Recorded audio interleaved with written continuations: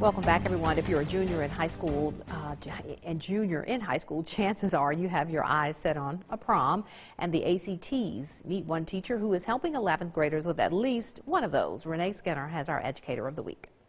ACT Prep is all about repetition. Repetition is the way to not only teach, but also for them to retain the information that we are going over. Take it from 9th and 11th grade English teacher.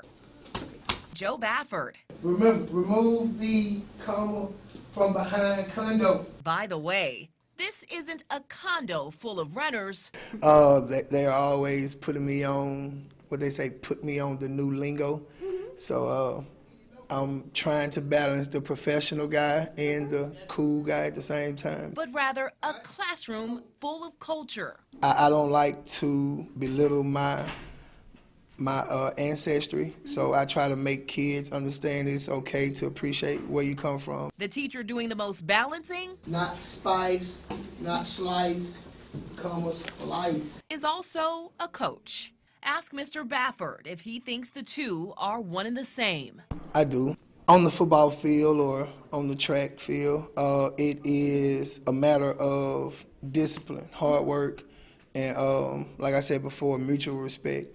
I, al- I always look for a way to learn from my kids, and those teachable moments is what I try to always uh, focus in on. Sometimes along the way, Mr. Bafford says mistakes are made. That shows that you're a human, and people will connect to you a lot quicker once they know that you are, you know, subject to make a mistake just like they are like the one happening outside. Oh, oh, he opened the door. These students, they see me. But make no mistake.